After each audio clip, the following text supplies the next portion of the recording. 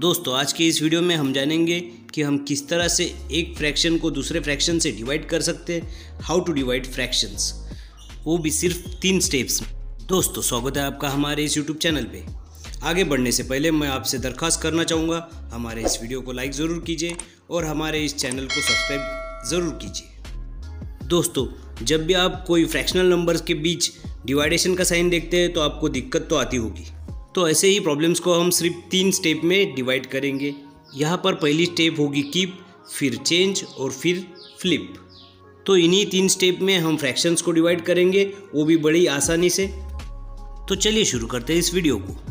इन दो प्रॉब्लम्स में से पहला जो प्रॉब्लम है, उसमें हम फ्रैक्शनल नंबर को फ्रैक्शनल नंबर से डिवाइड करेंगे और दूसरा जो प्रॉब्लम है, उसमें हम होल नंबर को डिवाइड करेंगे एक फ्रैक्शनल नंबर से। दोस्तों, सबसे पहले जो हमारा प्रॉब्लम है उसमें हम एट डिवाइडेड बाय सिक्स को डिवाइड करेंगे टू डिवाइडेड बाय फाइव से।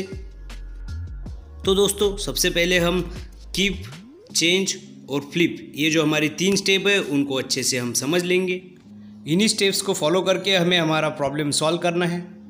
तो देखिए, ये जो पहला जो फ्रैक्शनल नंबर है, जो कि लेफ़्ट साइड में है, उसे हमें जैसा का वैसा लिखना है, यानी हमें उसे कीप करना है। इसके बाद देखिए डिवाइडेशन का साइन है, जिसे हमें चेंज करना है, वो भी मल्टीप्लिकेशन साइन से। इसके बाद जो राइट साइड में नंबर है, उस नंबर को हमें फ्लिप करना है, यानी उसे हमें इन्वर्स करना है।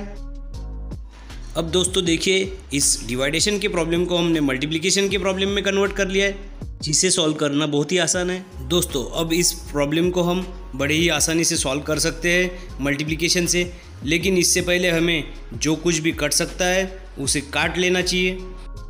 दोस्तों, यहाँ पे देखिए फाइव के नीचे टू है तो ऊपर एट है तो हम इसे काट सकते हैं। टू वन ज़ा टू और ऊपर टू फोर ज़ा एट इसी तरह से हम फोर और सिक्स को भी कैंसिल आउट करेंगे।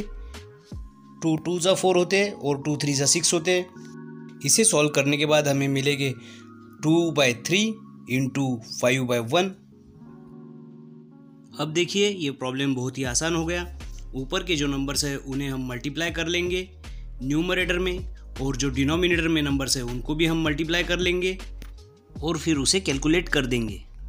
टू इंटू फाइव का मल्टीप्लिकेशन होता है टेन और नीचे थ्री इंटू वन का मल्टीप्लिकेशन होता है थ्री तो कुछ इस तरह से हमें टेन बाय थ्री ये आंसर मिला है इस प्रॉब्लम का, जो कि एक करेक्ट आंसर है। दोस्तों, इसके बाद हम देखेंगे नेक्स्ट प्रॉब्लम दोस्तों, इसके बाद जो हमारा प्रॉब्लम है, वो है twelve divided by four by three twelve ये जो नंबर है, एक होल नंबर है। इसे हमें डिवाइड करना है एक फ्रैक्शनल नंबर से।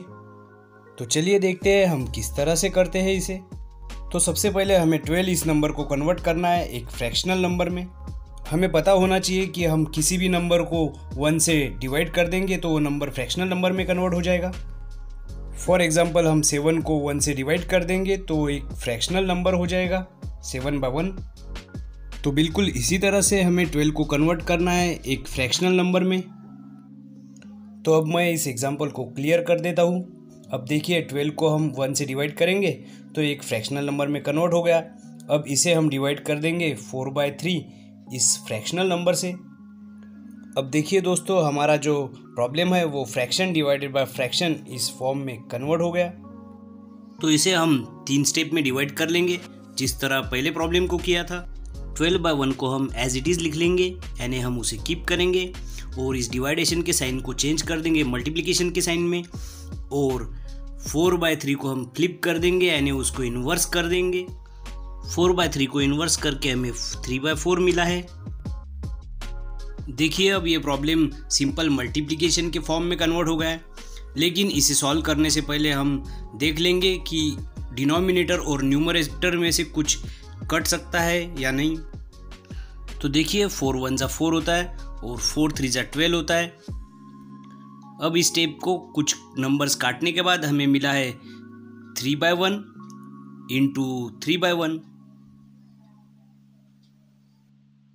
अब ये सिंपल सा प्रॉब्लम है जिसे कोई भी सॉल्व कर सकता है।